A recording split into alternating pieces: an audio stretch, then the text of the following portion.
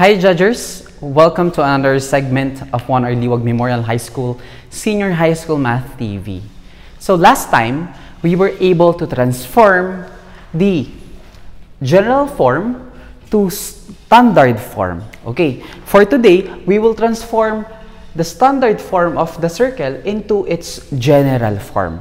But before we do that, let us first write down the equation for the standard form of the circle. So for the standard form of the circle, that becomes x minus h quantity squared plus y minus k quantity squared is equal to r squared.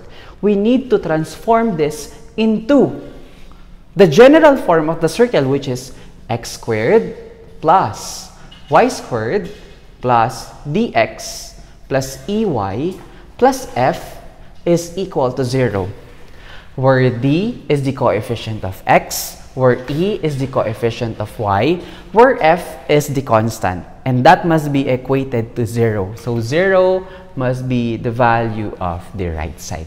Okay, so we are now given here for number 1, that is x minus 1 quantity squared, plus y plus 5 quantity squared is equal to 81. Note that this is in standard form.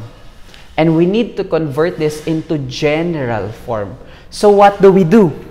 Let us first analyze. We are given this equation. This is the standard form. And we need to make it this form. So what do we do now? What can you say? We have a parenthesis squared. What do we do if we have a parenthesis and then a square? Yes? Exactly. We need to, very good we need to expand. If this is x minus 1 quantity squared, we need to expand that x minus 1 quantity squared. So this is how we expand. And this is my technique. This is x minus 1 quantity squared. We will not anymore be using the FOIL method since we are just multiplying this by itself. Therefore, this is how we do it. x times x. x squared. Okay? Negative 1 times 2, that is negative 2. Negative 2 times x, that is minus 2x. Okay? And then for the last term, that is negative 1 times negative 1, yes, that becomes plus 1. And that is how we expand this binomial. That is x minus 1 quantity squared is just equal to x squared minus 2x plus 1. Plus, let us now try to expand this binomial. y times y, y squared. 5 times 2, 10. 10 times y, 10y. Add 10y there. And then for the last term, that is 5 times 5. That is 25. So that is plus 25. And then transfer this to the left side since the right side of the general form is equal to 0. If this is positive 81, we it becomes negative 81 is now equal to 0. So what happens? So general form, this is x squared y squared plus dx plus ey plus f is equal to 0. We now have here x squared. Okay? We have x squared. And then it must be plus y squared. Okay, plus y squared. What comes after y squared? dx. And where is that? That is negative 2x. So that is minus 2x. What comes after dx? ey. So what? where is ey? That is 10y plus 10y. And then all the constants. So we have plus 1, plus 1, plus 25, minus 81 is equal to 0. Rewrite x squared plus y squared minus 2x plus 10y and then simplify. 1 plus 25 is 26. 26 minus 81 will result to exactly negative 55 is equal to 0.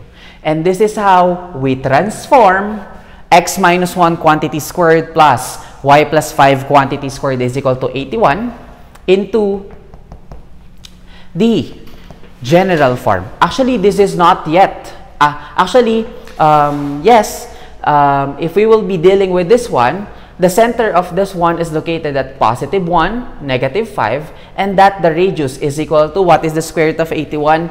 9. Okay? So this is our final answer. We need to identify the center and the radius and then transform. After identifying the center and the radius, transform the standard equation into the general form. Okay, this is the general form x squared plus y squared minus 2x plus 10y minus 55 is equal to 0. Okay?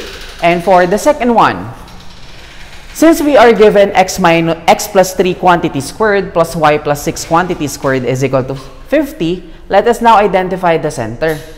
Okay, since this is positive 3, the center will be located at negative 3. This is positive 6. Negative 6 and then the radius is equal to the square root of 50. Okay, I will not anymore be um, simplifying this one. So this is just the radius. Let us simplify it further later. So center is located at negative 3, negative 6, and the radius is equal to the square root of 50 units. Let us first expand the second example. Therefore, this becomes what? x plus 3 quantity squared, x squared plus 3 times 2 is 6.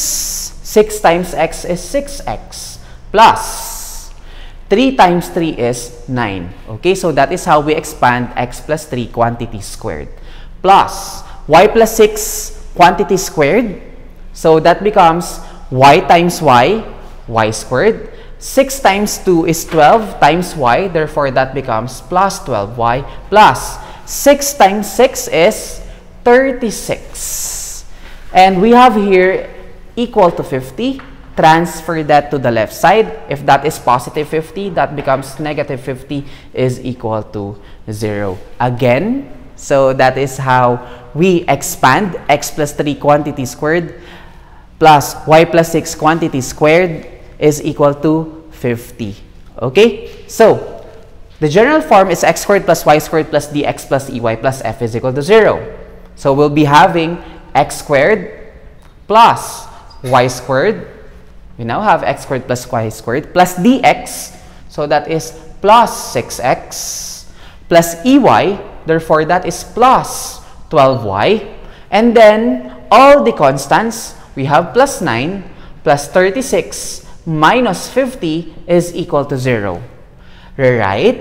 We have x squared plus y squared plus 6x plus 12y. 9 plus 6, 9 plus 36 is 45. 45 minus 50 will give us an answer of negative 5 is equal to 0. So the final answer would be x squared plus y squared plus 6x plus 12y minus 5 is equal to 0. And that is the general form of the equation x plus 3 quantity squared plus y plus 6 quantity squared is equal to 50. So that is how we transform the given standard form into its general form. And for the last example, we are given x minus 7 quantity squared plus y squared is equal to 25. So, let us now expand x minus 7 quantity squared. Therefore, it becomes x squared. Negative 7 times 2 is negative 14 times x. Therefore, that is minus 14x. Negative 7 times negative 7. Yes, that is plus 49 and then we only have here y squared add y squared since the left side is positive 25 transfer that to the left side. Therefore we'll be getting minus 25 is equal to 0 okay? So we have here the equation in general form x squared plus y squared plus dx plus ey plus f is equal to 0 Let's make it a guide. Therefore, it becomes x squared plus y squared. What is our dx? That is minus 14x. What is our ey? Do we have ey? No, since we only have y squared. And then, we need to add the constants. So, that is plus 49 minus 25 is equal to 0. Simplifying, we'll be having x squared plus y squared minus 14x 49 minus 25 will give us an answer of plus 20, 24. Okay? So that is plus 24 is equal to 0. And that is the conversion or the general form of the equation x minus 7 quantity squared plus y squared is equal to 25. Do not forget that in, in transforming standard to general, always remember that the formula for uh, the equation for the standard form is x minus h quantity squared plus y minus k quantity squared is equal to r squared. And for the general form, we have x squared plus y squared plus dx plus ey plus f is equal to 0. So I hope you learned something for today's video lesson. Once again, I am Engineer Jod Edward Hernandez saying that mathematics is always fun. Goodbye and God bless.